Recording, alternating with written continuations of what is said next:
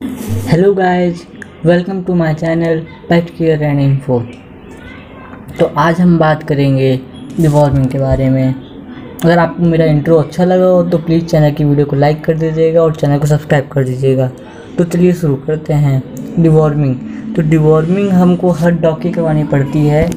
तो मैं आज आपको एक डिवॉर्मिंग के बारे में बताऊँगा, एक मेडिसिन है। तो आगे वीडियो कंटिन्यू करते हैं, आप देखिएगा।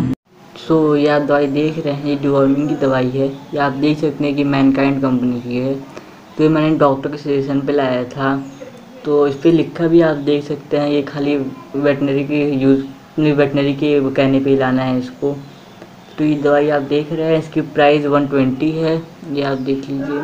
वैसे आप कम कराए तो कम करेगा डॉक्टर क्योंकि मैंने इसको वन हंड्रेड में लाया था। सो ये दवाई जो है ये छोटे पपी के लिए है। एक एक महीने से लेके पाँच महीने तक के लिए और इस दवाई को आपको खोलने के बाद बारह हफ़्ते के अंदर अंदर इस्तेमाल कर लेना है।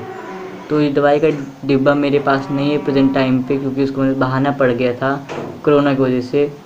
तो आप लोग उसको देख रहे हैं।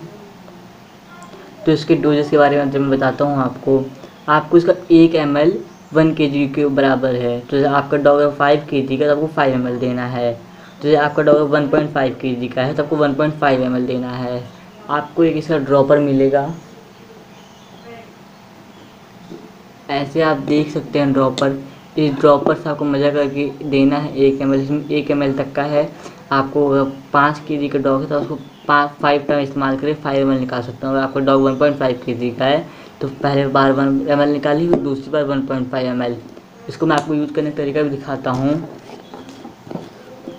आप ये दवाई को अंदर से भी देख सकते हैं तो आपको उसको यूज़ करने के लिए आपको इसको लेना है और इसे पूरी तरीके से फिट कर देना है अंदर, एकदम अच्छे तरह से फिट कर देना है। तो अगर आप इसको एकदम अच्छे तरह से फिट कर देंगे तो आपका ये एक बार में पूरा एक वन एम निकल जाएगा। अगर आप अच्छे से नहीं फिट करेंगे तो आपका एक बार में वन एम नहीं निकलेगा, उससे थोड़ा सा कम ही निकलेगा। और अगर बात करें कि अपने डॉग को इसे कैसे देना है तो आपको इसे चाहे अपने डॉग को ऐसे ही पिला दें, चाहे दूध के साथ। इसमें कोई ऐसा नहीं कर आपको खाने मिला देंगे तो खाएगा नहीं। खा लेगा इससे टेस्ट भी अच्छा होता है। वैसे मैंने अपने डॉग को दिया था तो दूध के साथ भी पिया था बिना दूध के पिया था। तो आपको जो कंफर्टेबल फील आप वो कर सकते हैं। दूध आपको बहुत ज़्यादा कॉन्सेंट्रेशन में नहीं देना है।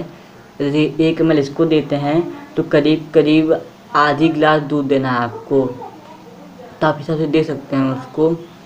और ये जो, ये दवाई है ये इसका एक्सपायरी डेट यहाँ पे लिखा होता है, आप देख सकते हैं। तो आप इसको एक्सपायरी डेट से पहले इस्तेमाल कर लीजिएगा। और इसको खाली छोटे पपी के लिए इस्तेमाल करिए, क्योंकि बड़े डॉग पे काम नहीं करेगा। तो इस दवाई का नाम मैं आपको एक बार दोबारा बता देता हूँ। इस दवा ये दवाई वेट वेट मैनकाइंड कंपनी की है। अगर आप लिखेंगे मतलब आप बोलते हैं बैंड स्टेप पप की दवाई चाहिए वेट वेट मैनकाइंड की तो आपको मिल जाएगी। और अगर आपको कुछ डिटेल पढ़ने तो आप देख सकते हैं। मैं आपका इसका स्क्रीनशॉट वीडियो साइड में लगा दिया हूँ। इस तरफ़ आप देख लीजिएगा उसको। और अगर आपको डॉग के बारे में और कोई इन्फॉर्मेशन चाहिए तो आप मुझे कमेंट करिएगा। और अगर आपको ये जानना है कि आप अपने डॉग के काम कैसे खड़े करें तो ऊपर आई बटन में आ रहा है।